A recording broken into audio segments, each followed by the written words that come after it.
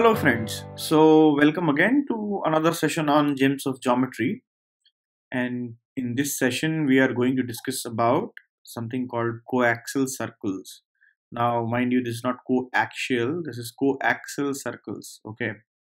And what does it mean? So coaxal circles are nothing but a family of circles, right, which uh, are satisfied or which can be represented by this particular equation x square plus y square minus 2ax plus c equals 0. So if you see uh, the center O lies on the x-axis and uh, depending upon the c you can determine the radius of the family of the circle. So this you know uh, the uh, center has to be on one axis and uh, radius could be anything now if we you can see there are two values here a and c and we will see different kinds of uh, coaxal circles or a family of circles.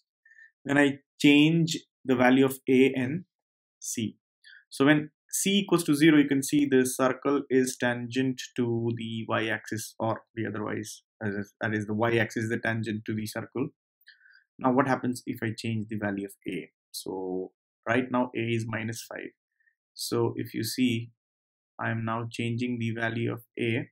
So you can see all these are the coaxal circles. You can also monitor the position of center O right now merges with the origin and then these are the other set of so when A is positive so these are the set of let's say coaxial circles right so this is when c equals to 0 so all the circles are tangential to the y-axis and the center lies on the x-axis this is one case.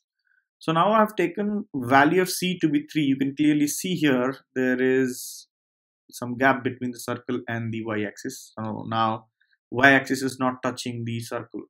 Okay? So now what happens if I change the value of a? So as the center moves you can see right just have a look at the centers path. So now you can see there is some value of a where there is no circle right? There is no circle. When c is positive definitely you can see uh, you know, the radius is coming out to be imaginary here so hence there is no circle. Now the moment it crosses one particular point can you see this? Yeah. Then again circles are appearing. So this is another set of coaxal circles right? Another set of coaxal coaxal circles. Right? In this case the value of c is positive and a for different different values of a you get these set of circles. Okay? So another set of coaxal circles. Now what happens if c is less than 0 c is negative. Now clearly you can see the circle is intersecting. The y-axis at two points a and b now if I change the value of A so this is what it is going to be right? So all the circles are passing through A and B and this is how right so now the circles are again uh, all the circles are passing through the points A and B.